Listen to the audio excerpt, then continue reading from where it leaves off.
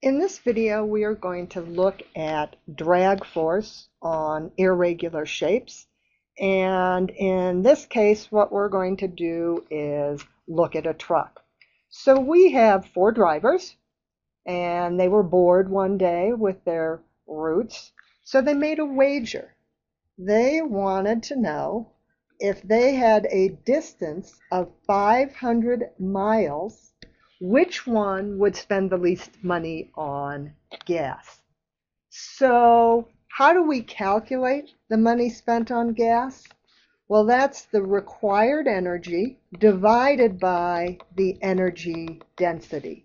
And that will give us the amount of gas that's needed. So how do we find the required energy? Well, the required energy equals the force times the distance divided by the energy efficiency. So what force we're looking for is the drag force, which is 1 half times the coefficient of drag times the density of the fluid times the velocity squared times the frontal area. Well, in this particular problem, the 1 half, of course, is going to be the same. The rho is going to be the same because it's all air. The frontal area of the trucks, we'll assume they're all driving the same truck. It's going to be the same.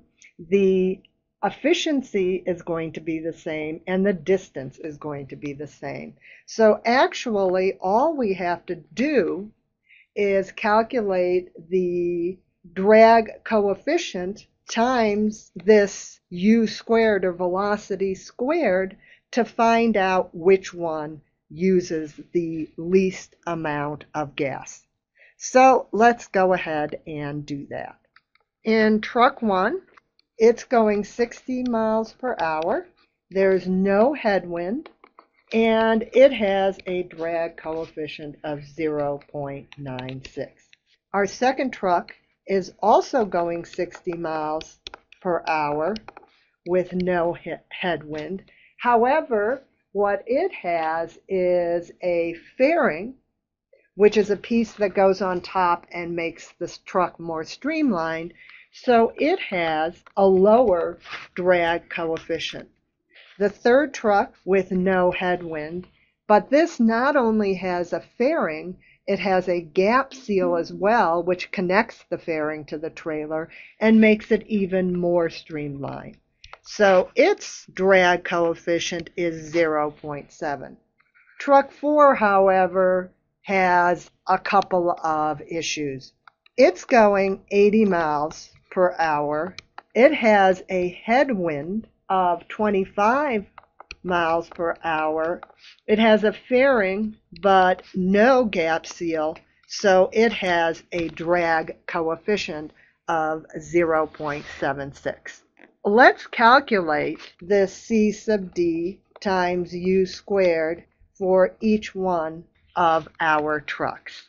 So the first thing that we have to do is change miles per hour into feet per second.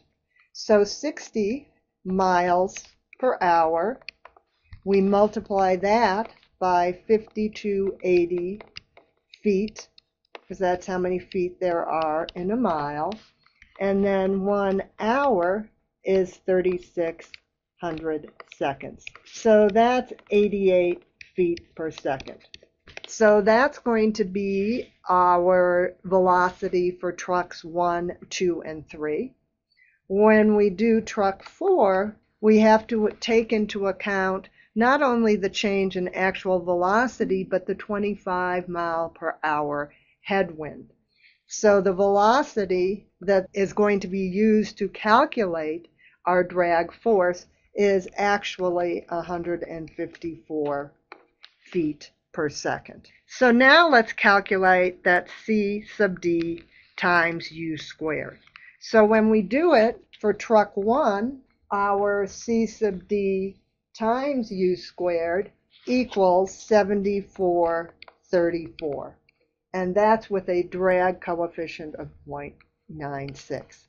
Truck 2 is 5885 And remember, this is all for C sub D times U squared. So that drag coefficient, that lower one caused by the fairing, lowers our C sub D times U squared.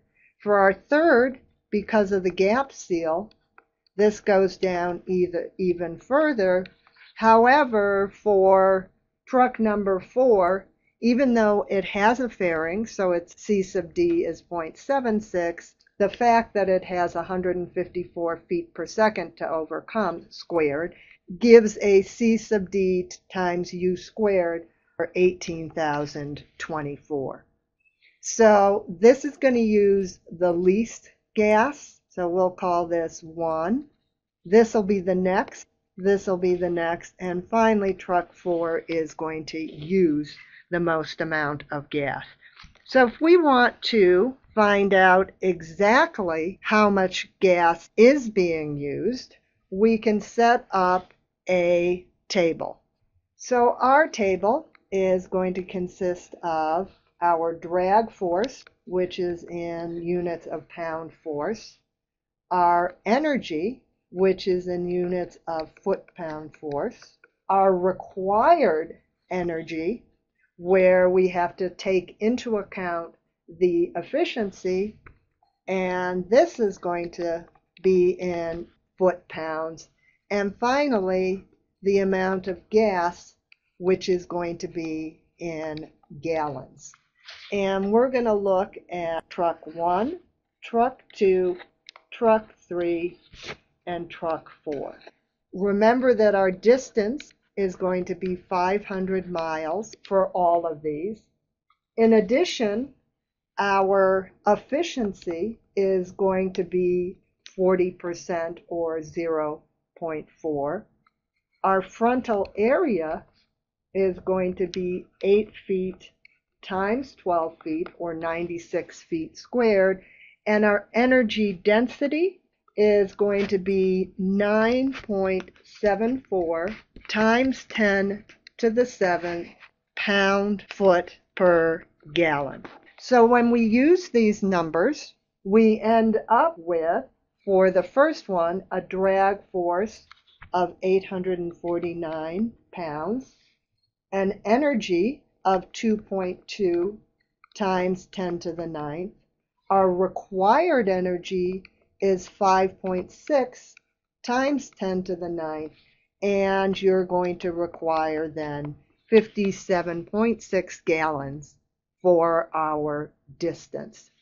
When we fill in the numbers for the rest truck and they follow the same pattern that we see for our C sub D times U squared. So this is 1.8 times 10 to the ninth, 1.6 times 10 to the ninth. So the energy required is going down until we come to truck 4. When we come to our required energy, again, it's going to go down for truck 2 and 3, and again, go up for truck 4. And finally, when we look at the gallons of gas, which is really the most important thing because we're talking about money, goes down to 45.7 gallons, 42 gallons, and our last truck is going to need 140 gallons. One thing to look at is the difference in adding our fairing from here to here is very large as compared to actually adding a gap seal.